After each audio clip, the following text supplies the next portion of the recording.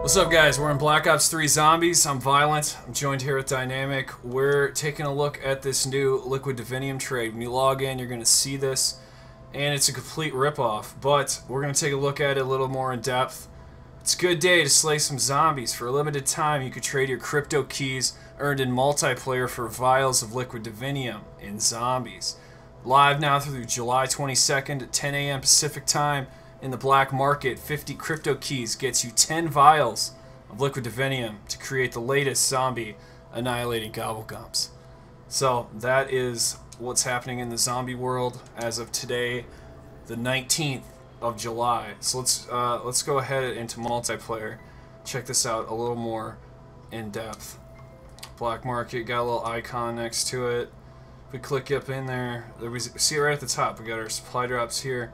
I got 8 Divinium. You need 50, alright? So it's 30 crypto keys for a rare supply drop. 200 COD points. You can't do anything with COD points for these. It's all crypto keys. And you need 50, so it's more for the Divinium than it is for a rare supply drop. Do you think that's fair? I don't know.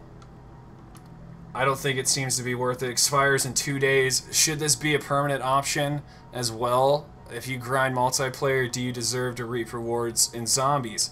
These are questions I don't think were ever posed at Treyarch, but we could talk about them in the comments below. Let me know your thoughts, and uh, maybe we can get somewhere. I don't know. It seems like uh, they've updated this quite a bit.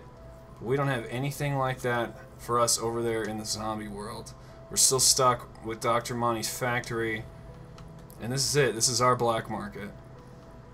Anyways, that is the most recent stuff in Black Ops 3 Zombies. Be sure to subscribe if you like zombies content. I always post stuff and updates. Got you guys covered completely. And we're moving into custom zombies here pretty soon. Probably by the end of fall, maybe maybe in the beginning of winter, I'm not sure.